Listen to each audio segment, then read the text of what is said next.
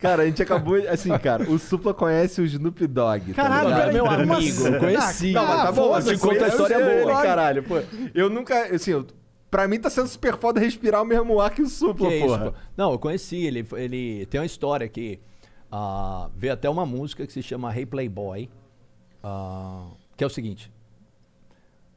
Eu tava, quando eu tava com o João, a gente e não tinha contrato ainda, a gente tava fazendo vários shows em Los Angeles ali, e a gente ficou hospedado na casa que era da Carmen Miranda. Caralho. Tinha um estúdio que chamava Wava Flow Wagner, e ele era amigo de todo mundo. Todo mundo ia gravar lá de hip hop. Que da hora. Snoop Dogg, Corrupt, que era o parceiro dele. Tem até aquele filme de Cadillac, que conta da história da Maverick, da gravadora Mavericks, de blues. O, o Corrupt fez esse filme até, parceiro do Snoop. E aí a, a gente. ah, eu me lembro que a gente fez um show em Santa Mônica e voltamos para Los Feliz, né? Que é ali em Los Angeles, ali, saindo da Hollywood ali. A gente chegou. Casa da Carmen Miranda mesmo, não é lenda isso daí. E ali tem um estúdio. Tem a casa dela e atrás um estúdio. Que demais. Animal. Não, não existe mais. Essa, essa, foi vendido. Caralho. É, mas que a gente teve a viveu, felicidade, viveu. a honra, a honra de estar lá nessa época. E quando a gente voltou, tava tendo uma festa. Meu, aquela fumaça, lógico, né? tudo.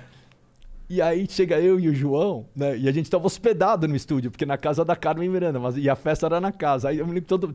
né, Eu e o João mesmo, uns poucos brancos ali na festa. Aí os caras olharam.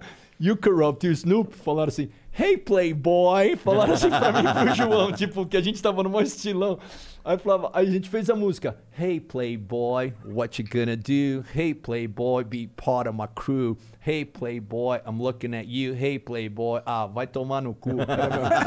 Não, tinha, tinha um rap que eu falava: É, é. Nossa, eu esqueci o rap. É, é muito louco. Eu fazia um rap. É, como é que era? Like- Caralho, like que- Hendrix que said. vibe, Aí né, eu esqueci, mas era. era...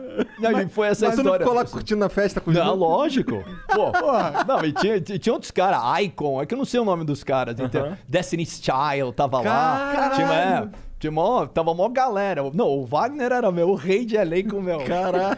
Muito legal. Incrível, E, cara. e eles curtiram, e daí o João, né, pega o violão, já começa a fazer aquelas bossa nova lá, a galera, meu, os caras, pô, é do Brasil, tem, tem um certo apreço, né, Aham. sabe? O pessoal olha com, né... A gente tem uma boa Brasil. fama, né? O brasileiro. Tem, eu acho que tem, cara.